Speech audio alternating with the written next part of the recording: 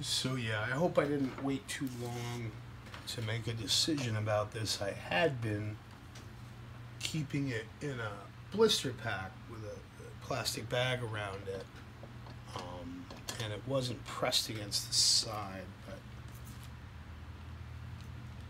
there's another fixture over there. The other antenna as well is looking very weak.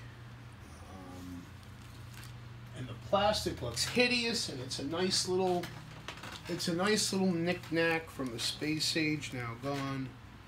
I'm gonna keep the card as intact as I can by just cutting the plastic gently.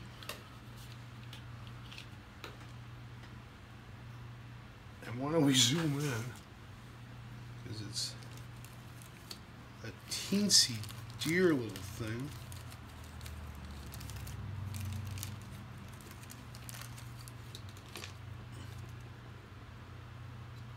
So for your 10 cents, you got a little lunar module. Nice, nice reproduction, if I might say. With the little little sticker there. And very carefully, I'm gonna wait till tomorrow and very carefully approach that with a pair of tweezers. Of more immediate interest are the uh, the spacemen here in whatever adorable little ultra teeny scale this is, and that was what caught my eye. Yeah, the lunar module is nice, but I was like, look at those little space guys. Those things are cool. There's absolutely no pressing or stamping information on the bottom. Let's see, it looks like there's two poses.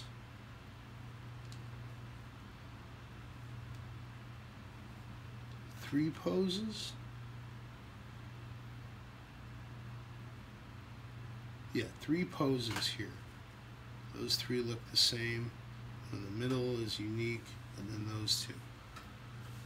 And of course, they're not in any near scale for the lunar module provided, but you know what we hope is that they are for the Matchbox and Hot Wheels uh, 1 to 64 range of scales. He's a little bit small for the Kawasaki, but a darn good fit for the Lancia Stratos, which is what I'd predicted when seeing the listing online. I was like, yeah, I think that's going to be about right.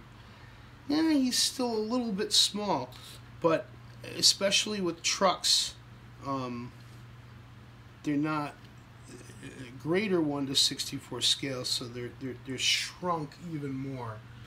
And I think we'll find a nice match for them with uh, some of the trucks to make little diorama pieces with.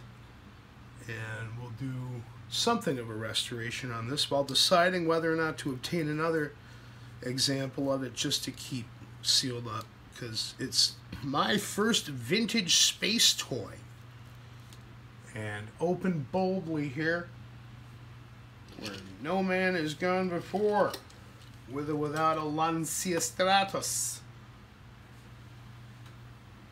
And I'm to put him right back into his repurposed blister.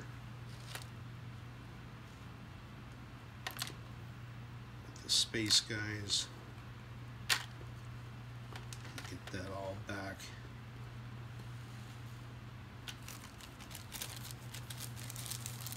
Safely stashed away as possible until I have the time to really deal with it. Nice, nice score.